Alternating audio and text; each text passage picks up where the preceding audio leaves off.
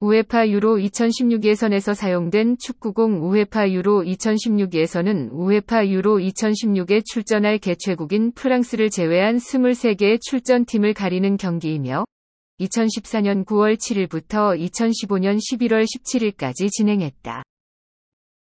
예선 포맷은 다음과 같다. 특이사항 우에파 유로 2016 예선에 참가한 팀들의 시드는 2010년 피파 월드컵 유럽 지역 예선과 본선 경기 결과의 20%, 우에파 유로 2012 예선과 본선 경기 결과의 40%, 2014년 피파 월드컵 유럽 지역 예선 경기 결과의 40%를 반영한 개수를 기준으로 하여 배정되었다. 시드 배정은 2014년 1월 24일에 발표되었다.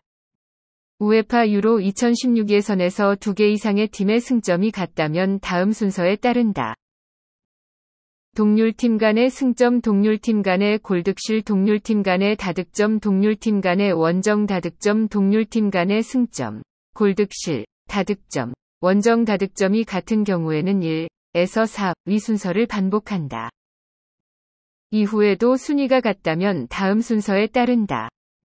모든 조별리그 경기에 대하여 골득실 다득점 원정 다득점 페어플레이 점수 UEFA 계수 이 부분의 본문은 UEFA 유로 2016 예선 A조입니다.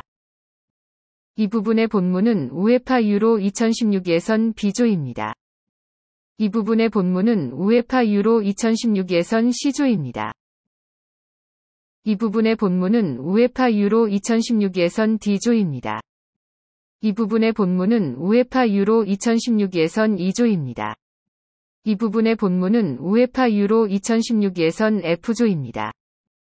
이 부분의 본문은 우에파 유로 2016 예선 G조입니다. 이 부분의 본문은 우에파 유로 2016 예선 H조입니다.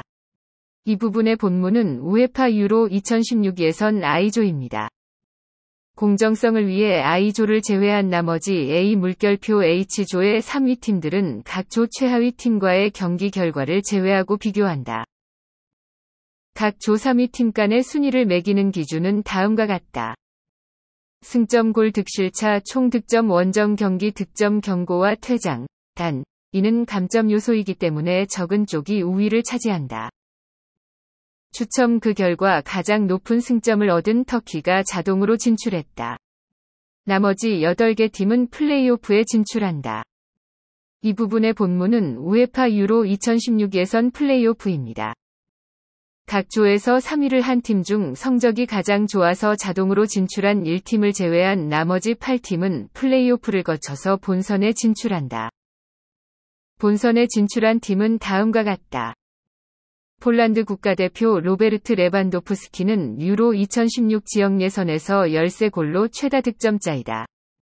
13골, 9골, 8골, 7골, 6골, 5골, 4골, 3골, 2골, 1골, 1 자책골, 2 자책골. 시청해주셔서 감사합니다.